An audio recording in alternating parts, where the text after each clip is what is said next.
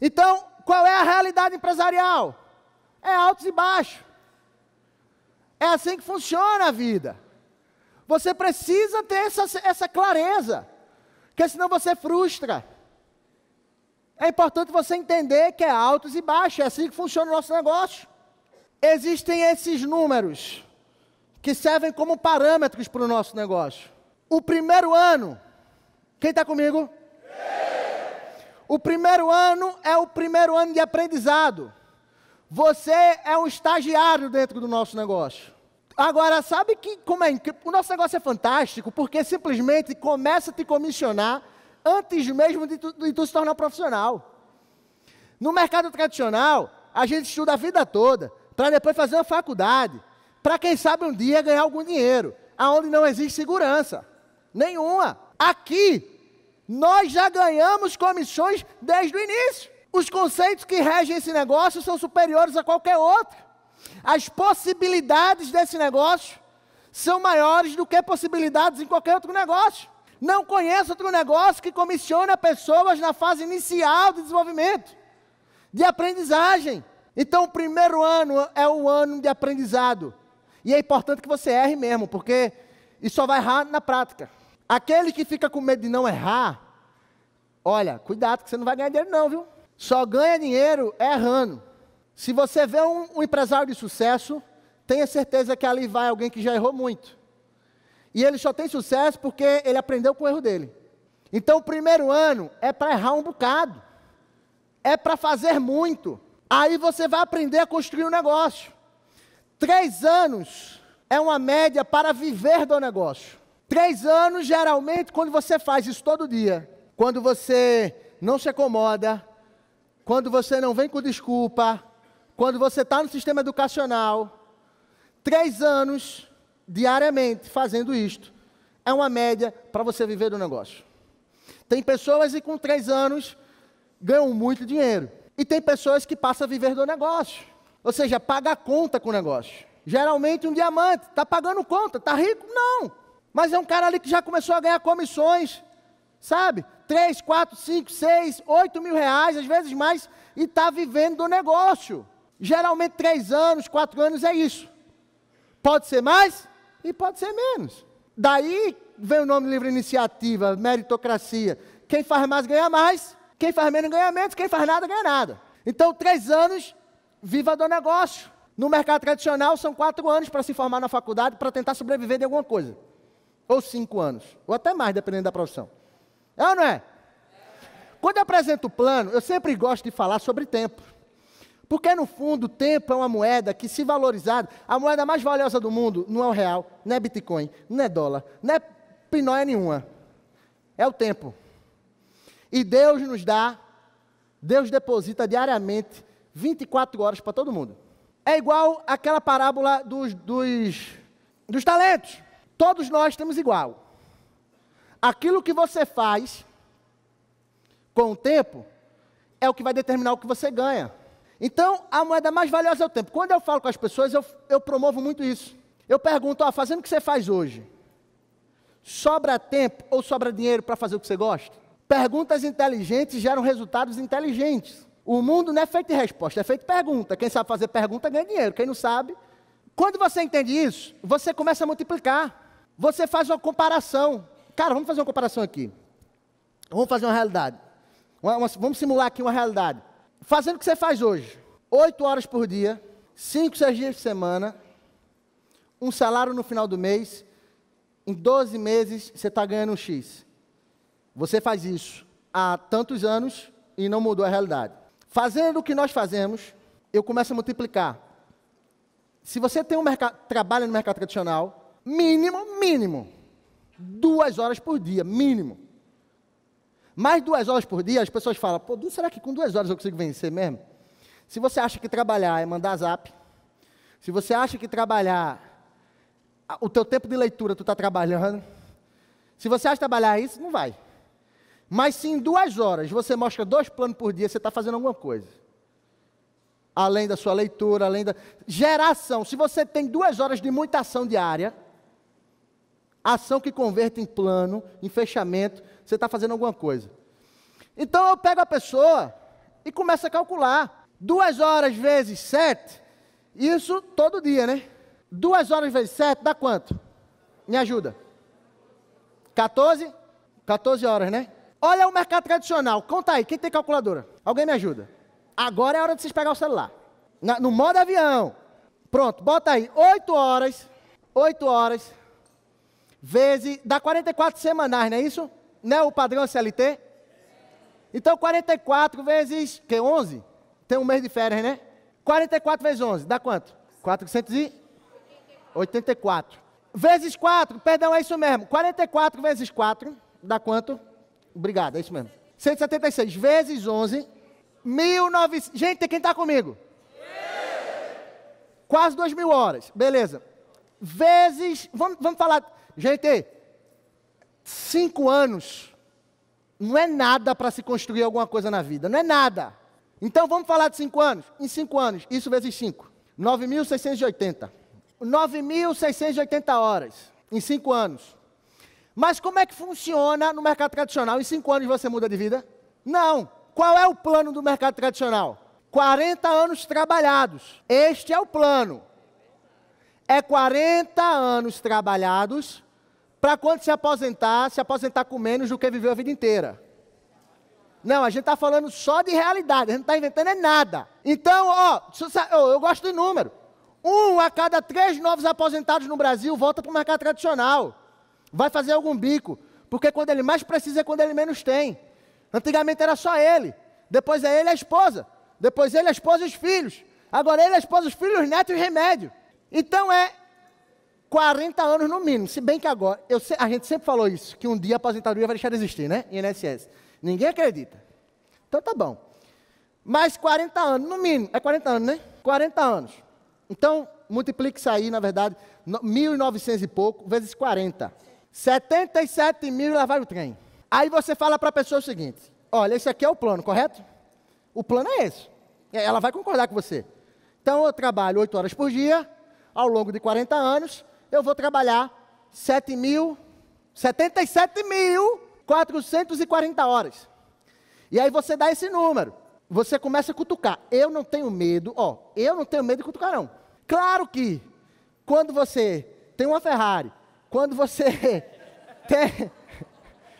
A gente pode bater um pouquinho mais forte. Né? De, porém, deixa eu contar uma coisa. Não tenha medo, não.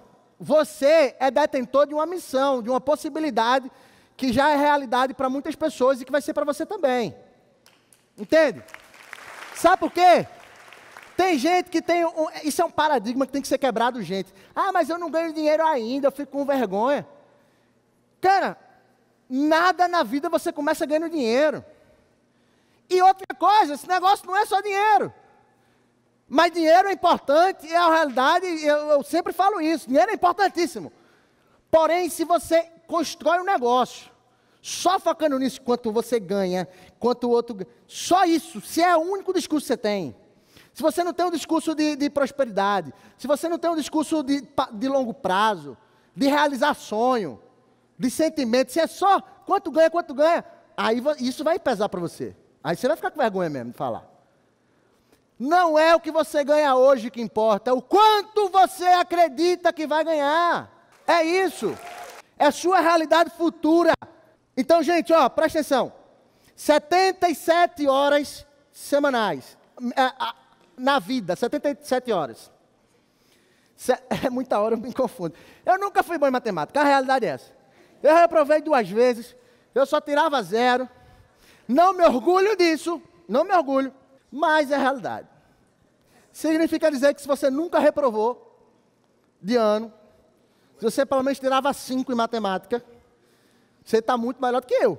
Se você duplicar minhas crenças e ideias e fazer isso todo dia, você está na minha frente, que você nunca reprovou, eu reprovei. Então, 77 mil horas, correto? Vocês estão comigo? Sim. Estão acompanhando o raciocínio? a gente está falando com o prospecto. Eu estou passando para vocês um conceito, uma ideia, tempo para poder trabalhar isso quando você achar necessário. Então você apresenta, escancara na frente dele um número grande, 77 mil horas. Não é? Fala, pergunta, aí faça pergunta que antes que vai doer. Entendeu? Pergunta se fazendo isso aí, ele acredita que depois das 77 mil horas, ele vai, ele vai viver a vida dos sonhos dele.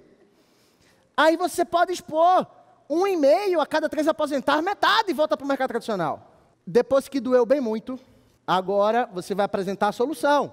Você vai apresentar o plano B, o plano de aposentadoria, dentro de uma profissão que Donald Trump que, que recomenda. Você está com o seu livro na mão, você está com o negócio do século XXI na mão. Você está com o livro, por exemplo, do Lucas na mão. Você está com provas sociais na mão, não importa o quanto você ganha hoje, mas sim o que você acredita que vai ganhar no futuro. Se você entender isso, você vai mudar o seu jogo. Aí você começa a brincadeira. Aí você começa a calcular. Plano B. Você bota 77 mil horas, uma, um e meio a cada três volta para o mercado de trabalho, bate, bate, bate, bate, bate. Depois bateu, com bom senso, X versus plano B. Plano B, duas horas por dia, certo? Porque a maioria não trabalha todo dia, a realidade é essa. Se quiser, poderia botar cinco dias. Mas vamos fazer o que a gente acredita, todos os dias. Dá 14 semanais. 14 horas semanais, duas horas, aí você vai fazendo com que ele confirme com você. É igual o vendedor. O vendedor, o dia está quente. É, é, o sim, é o neagrama do sim. Então você vai fazendo perguntas concordando com você. Cara, você acredita que com duas horas, você, você consegue fazer duas horas por dia alguma coisa? Vai dando possibilidade para ele concordar com você. Duas horas por dia, 14 semanais. 14 semanais, vezes 4, dá quanto? 56 horas. Ah, não tenho tempo. Mentira. Não aceite desculpas, tá? Se você aceita desculpas, você é um líder fraco. Não aceite desculpas facilmente. E eu sempre digo no meu fechamento: ó, tu me chama de gordo, me chama de feio, me chama do que quiser. Mas não diga que você não tem dois mil para começar o um negócio. Porque a grande maioria das pessoas não tem nada para começar nada. Mas aqueles que começam alguma coisa, isso é a estatística do Sebrae. 80% das pessoas que começam algo começam sem dinheiro, começam com o dinheiro dos outros. dinheiro dos outros, leia-se, banco, não sei o quê. É assim que funciona. Então não vem com desculpinha que não tem dinheiro. Eu também não tenho. Você vai dizer, eu também não tinha. Você vai dar exemplos. Pô, mas fulano também não tinha. Beltrano também não tinha. No meu plano. E não é porque o meu plano é bom, não. Meu plano não é bom. Mas no meu plano, eu já eu, eu tenho a, a, a, o feeling de quebrar a maioria das desculpas. No meu plano, eu já, no plano, não é em fechamento, é dentro do plano. Eu já quero desculpa de dinheiro, de tempo, já é para você quebrando essas coisas, dando exemplos, para que ele tenha vergonha de dar essa desculpa no final. Por exemplo, antes de fechamento, você já tem que ter disparado uma de dinheiro. Falando, pô, imagina, dá qualquer exemplo. O cara que não tem dois mil reais, não pode nem morrer, né, irmão? Isso não é no fechamento, isso é na hora do plano. Você dá uma, pega uma brecha e solta alguma coisa disso. Você tem que ir filtrando já desde o início para que ele tenha, já fique com vergonha de dar alguma desculpinha dessa no final. Então, ó, continuando. Dá quanto? 56 horas semanais. Esse é o plano. Mensais. Mensais, é, eu estou atordoado. Mensais. Vezes 12, porque é todo dia. Férias, férias, férias no marco de rede. Ah, você. Se você acha que você vai ter férias, filho, no marco de rede, Depende do que você encara como férias. Né? Depende. O que para mim é trabalho. Eu vou estar tá lá batendo foto. Só que é um trabalho divertido. É, dá quanto? 662 horas anuais. Quanto? 672. É dois a cinco anos no mínimo, né? Mas se para dar uma colher de chá, eu boto cinco anos. Porque eu não acredito em prosperidade real, mesmo sem cinco anos de trabalho. Esse negócio de dois anos é, é cinco no mínimo. Se você acha muito, experimenta o primeiro plano A, então. plano B, 600 e tanto, que você tem aí, vezes 5. Tá bom. Então, de um lado você tem, isso escancara, na cara dele, na força dele, 77 mil horas, ganhando o quê? Um limitador social que a gente conhece por salário. Nunca o patrão vai conseguir te pagar mais do que a capacidade da inflação de aumentar o pão francês, o aluguel, o gás, o combustível. O dinheiro sempre vai valer menos. E se você, sua fonte de renda é limitada, porque salário fixo é o nome, já está dizendo. Significa que cada vez você vai ter menos recursos. E aí você fala, oh, mas quem sabe um dia, se você bajular muito seu patrão, né, você pode ter um aumento de salário, mas sempre o aluguel vai aumentar mais. Aquele que ganha mil hoje passa a ganhar três amanhã, às vezes ele vive melhor com mil do que com três. Porque ele está habituado ao fixo, então ele não tem pensamento de comissão, de gerar riqueza, ele só tem pensamento de pegar aquilo e gastar, viver aquela vida dele lá. O planejamento de fixo. Só que carro quebra, menino chora, fica doente. Então, se tu tem uma vida que tu recebe, vive de fixo a vida inteira, o mundo não é fixo. O mundo oscila. Os gastos vão vir. E a ideia do mundo é consumo. Por isso, meu caro, você vai ser estimulado sempre em comprar aquele iPhone de 11 mil, em andar com aquela marca que Neymar anda. Essas futilidades toda a vida. Você pode até pode, ótimo, mas o que eu quero dizer é que a, a, o estímulo do consumo sempre será intenso. O fixo não vai aumentar, o salário não vai aumentar. Garanto que o iPhone vai ser mais caro o próximo. O teu salário não. Então você começa a fazer marabalismo, né? Para tentar ter. Esse é o problema de quem ganha fixo. Fixo limita. Bônus pode ser um hoje, 20 amanhã. Quem está comigo? De um lado nós temos 77 mil horas, 8 horas por dia, segunda a sexta-feira, às vezes aos sábados, toca a música do Faustão, entra em depressão, continua outra segunda, 40 anos, se aposenta com menos da metade do que viveu a vida toda. Metade das pessoas volta a trabalhar. Antes era sozinho, agora é com filho e com neto. Esse é o plano A. Plano B, duas horas por dia diariamente, com sistema educativo para te educar e te formar, com pessoas de resultado te dando orientações e trabalhando junto com você, ferramentas, durante cinco anos, para você ter liberdade. Qual plano é o melhor? Claramente, todos concordarão com esse. Então, eu gosto muito. Nem sempre a pessoa fecha, não, não é isso que vai fechar. Mas eu gosto de trabalhar e catucar muito a questão de tempo. Porque é o que nós temos, é a única diferença. As outras coisas é, não, fulano nasceu rico, fulano conhece muita gente. Mas a hora não, eu tenho 24, você tem 24, ele não pode dizer o contrário. Aí a gente já equilibra as coisas. A gente parte de um princípio que eu sou igual a ele. Já, eu, isso tem que ficar claro desde o início. Ele não vai ter a desculpa de que eu nasci num lugar diferente, de que eu tive sorte. Sorte é vocês estão entendendo? Quem está comigo? Cinco anos independente, sete anos livre, expert. Sete anos é o tempo mínimo, e eu acho muito. Deixa eu falar uma coisa a você. No meu primeiro ano eu não ganhei dinheiro. No meu segundo ano, nada. No meu terceiro ano eu também não ganhei dinheiro, olha só. No quarto ano, zero. No quinto ano, Estava lá batendo palma, ainda não ganhei nada. Quem está aqui há cinco anos? Você já ganharam alguma coisa? Quem está há cinco anos já ganhou alguma coisa? Quem está há cinco anos? Quem completou cinco anos? Alguém? Tem ninguém, filho. Tem dez anos de Rinodê? Já ganhou alguma coisa, você não está aqui na frente.